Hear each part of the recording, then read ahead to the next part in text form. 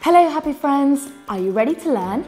I'm Sarah, and today we're going to talk about a topic that makes me very, very sad. Today, we're going to talk about global warming and the greenhouse effect.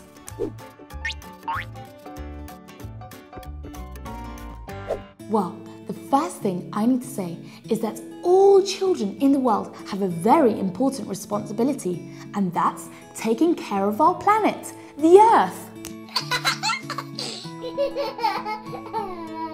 and that's why it's so important for us to understand all of the environmental problems so we can actually all get together and find solutions for these problems.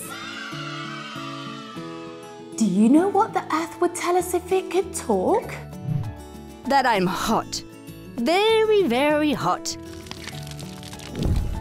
And actually, that's because of the greenhouse effect. It makes the Earth become hotter and hotter over the years. We are all responsible for this climate change.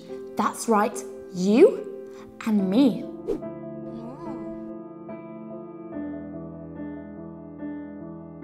For example, every time we turn the light on or use hot water, we're using energy. And this energy is usually made by burning coal, gas, or oil. If we also add all of the smoke that the cars expel, it's very clear that we actually release tons and tons of contaminating gases into the atmosphere.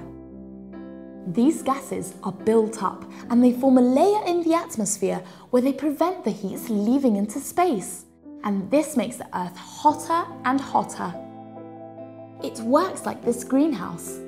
It lets the heat enter, but it doesn't let it escape. And that's how it's got its name, the greenhouse effect. If the Earth's temperature carries on rising, it will cause many catastrophes. The ice on the poles will melt, meaning rising sea levels, so there will also be terrible floods. And lots of living things, like these polar bears or seals, will disappear forever. But we're in time to solve this huge problem if all the children in the world agree to start doing things properly. And it's easy peasy. We need to switch off lights and everything that consumes energy when we aren't using them. We need to recycle glass, paper, plastics, and honestly, as many things as we can. We need to use hot water in a more logical way and it's easy peasy.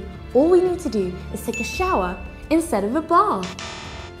And this way, we will save so much energy. And the most important thing of all, we need to respect and take care of nature and never ever dirty it. So, if all the children in the world start doing this, I can assure you that the earth will be very thankful. And this way, we can all enjoy the beautiful animals and landscapes that we have on earth, like these.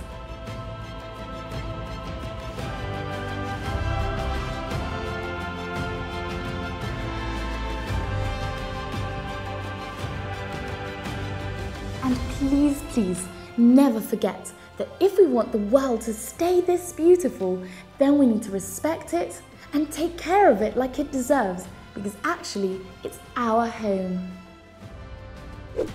Goodbye, happy friends. See you next time, and I hope you're always ready to learn. Goodbye. Search us and subscribe to Happy Learning's YouTube channel.